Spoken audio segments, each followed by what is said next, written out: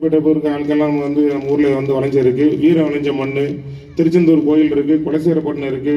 ஆன்மீக தளத்துல பாத்தீங்கன்னா திருச்செந்தூர் கோயில் குலசேரப்பட்டினம் நவ திருப்பதி இருக்கு. இப்படி வந்து நம்ம சொல்லிக்கொண்டே போகலாம். அதே மாதிரி நம்ம ஊர்ல மாதா கோயில் இருக்கு மணப்பாட்டில் கோயில் இருக்கு இங்கே காமநாயக்கம்பட்டி இருக்கு. எல்லாமே ஒற்றுமை அதை எம்மதும் சம்மதம். அதாவது அதுக்கு வந்து உதாரணம் வந்து நம்ம ஊர் தான் பார்த்துக்கோங்க.